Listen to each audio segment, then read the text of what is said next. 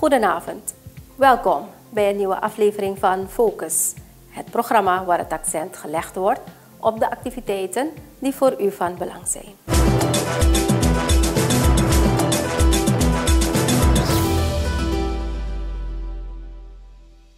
Vandaag in Focus. Parlementaire delegatie uit India maakt opwachting bij president Santokhi. Regering geeft goedkeuring aan herstructureringsplan Grasalco. En verplichte registratie moet ambtenarenbestand in kaart brengen.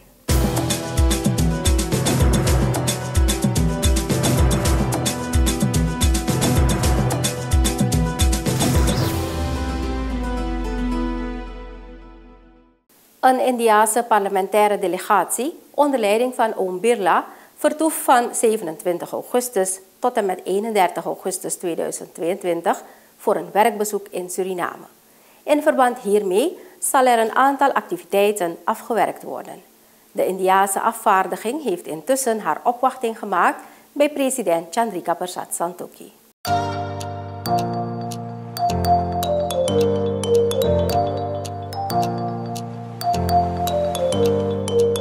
Met het staatshoofd is van gedachten gewisseld over het intensiveren van de bilaterale samenwerking op diverse gebieden.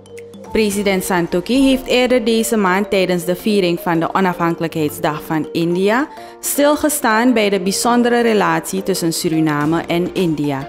Beide landen onderhouden reeds 46 jaar een duurzame diplomatieke relatie. De delegatie uit India heeft zondag een rondleiding door Paramaribo gehad terwijl er ook een bezoek aan Nikeri is afgelegd. Er staan ook ontmoetingen met de Nationale Assemblée en de Raad van Ministers op het programma. Met het Surinaamse parlement wordt er in de loop van deze week een Memorandum of Understanding getekend.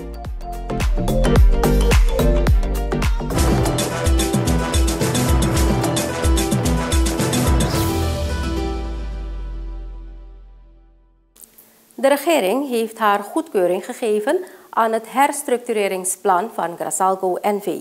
Dit besluit is genomen tijdens de regeringsraadvergadering van woensdag 24 augustus 2022. Met de implementatie van het herstructureringsplan is het de bedoeling om Grasalco wederom gezond te maken.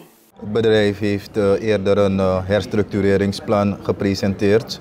Uh, de regering was niet helemaal blij met de, het herstructureringsplan. Er is toen een, eh, een clusterteam van ministers benoemd om, uh, om het bedrijf te begeleiden in het proces naar herstructurering. Dat clusterteam bestaat uit de minister van NH, de minister van ROM, de minister van, uh, van Bibis en de minister van Financiën en Planning. Het is een, een lang, maar ook een, leerrijk traject geworden met, het, met Grasalco. We hebben dat, um, dat herstructureringsplan um, kunnen beoordelen uiteindelijk. En vandaag heeft uh, de regering een besluit genomen. Uh, we, hebben, we hebben dat plan goedgekeurd. Weliswaar uh, moet ik aangeven, nog steeds onder voorbehoud. Omdat we uh, als, als regering, als, als cluster, betrokken willen blijven bij de herstructurering van het bedrijf, de implementatie van het herstructureringsplan. Uh, dus dat wil zeggen dat wij het bedrijf uh, niet uh, alleen laten. Wij willen geïnformeerd worden van de, de, de, stappen die genomen zullen worden in de implementatiefase.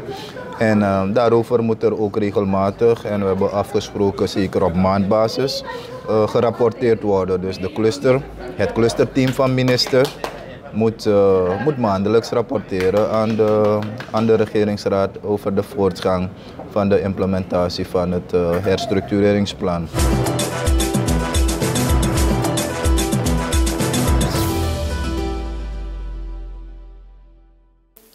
Per 1 september 2022 wordt er een verplichte landsdienarenregistratie ingevoerd.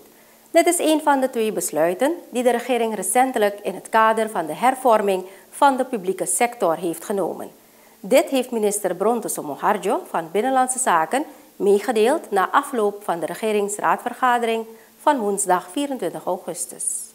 Weet, uh, wij zijn voornemens om het public sector plan eindelijk te laten slagen. Het is nog nooit gebeurd. En in dat kader heeft de regering nogmaals twee belangrijke besluiten genomen. Het eerste is dat wij op 1 oktober aanstaande onze window mogen openen om uh, de ambtenaren vervroegd vrijwillig de dienst te laten verlaten. Op, vanaf 1 oktober tot en met 31 december mogen wij die window openen. En die window gaan wij openen voor de categorie 55 uh, uh, jaar en 35 dienstjaren. Die krijgen de kans om, om de dienst eerder te verlaten. De groep, 5, de groep 0 tot en met 5 dienstjaren krijgen de kans om de uh, dienst eerder te verlaten. En de mensen die willen gebruik maken van de 18 maanden regeling. Dus dat is iets belangrijks, dat uh, we de window mogen openen vanaf, vanaf 1 oktober. We gaan daar een goede communicatieplan voor opzetten. Een andere belangrijke beslissing is dat we vanaf 1 september de verplichte landsdienarenregistratie gaan doen.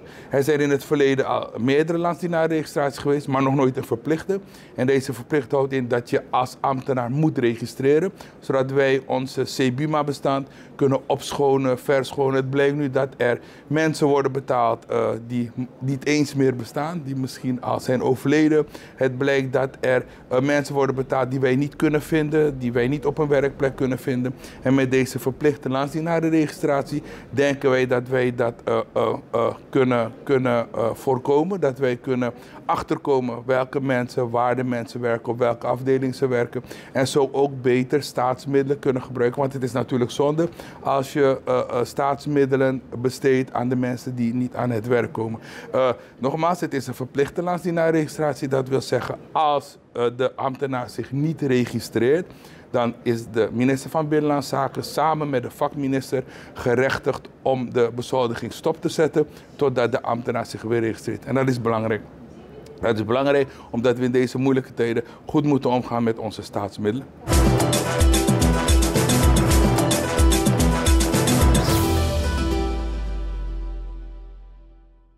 Dit was Focus. Bedankt voor uw aandacht.